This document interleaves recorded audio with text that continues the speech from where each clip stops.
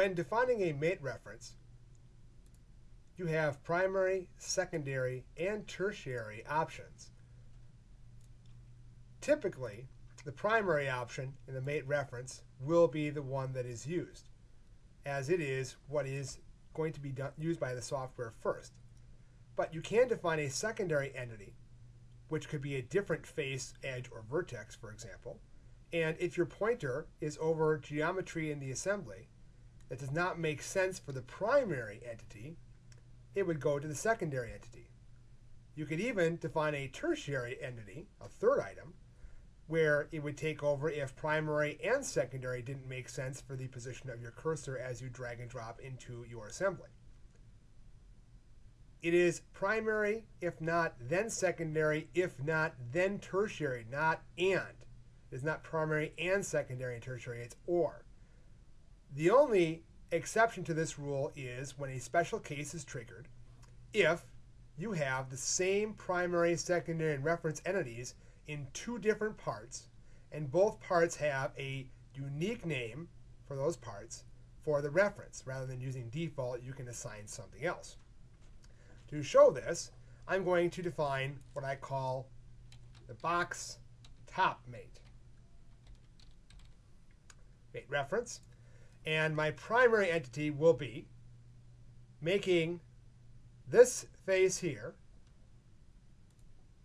coincident and reversed anti-aligned. Because normally this part is put on top of another and that's primarily what we want so that makes sense for the primary entity. But since I'm making a unique reference name I may want additional snapping and I can get that by continuing on to define a secondary entity as say the front face we'll make that a coincident aligned mate material on the same side and tertiary with this right side face, again, coincident and aligned. I will save that mate reference. And notice the name is not default, but box underscore top. I will save that part, close it, and then define the same kind of mate reference in my housing.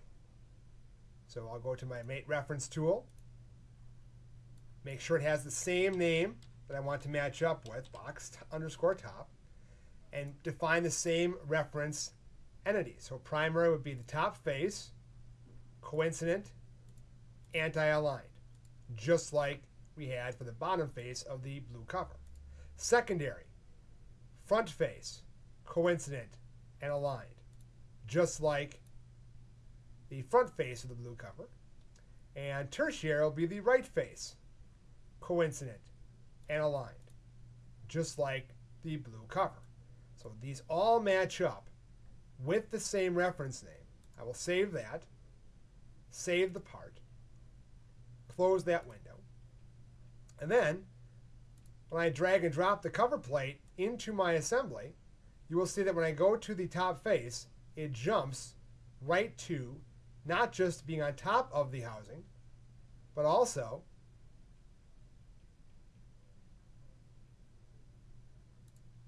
picking up multiple references. Let me just accept and finish that. It picked up the mate reference for box top in the cover plate, matching up with the same name in the housing, and therefore the mates that were picked up were coincident, bottom of the cover, top of the housing, coincident for the front faces of both, coincident for the right faces of both. Again, that's a special case when you have two components that have a mate reference name identified to be the same in both components, and you have mate references primary, secondary, and tertiary that match up. It may not be an everyday occurrence for this, but if you do a lot of piece part work, certain types of plugs and interchangeable components, if I had multiple housings and multiple covers, for example, I could mix and match them. And if they all had box top defined the same way, it would simply be a drop, drag and drop to snap. But even if you simply define a primary, maybe a secondary in case the primary doesn't work in a given drag scenario, you're still going to be money ahead because you'll be able to bring the component in through the design library or through the insert component command or through the Windows folder and dragging that icon or placing that icon, you will essentially be placing it as if you were dragging it by a given face or edge.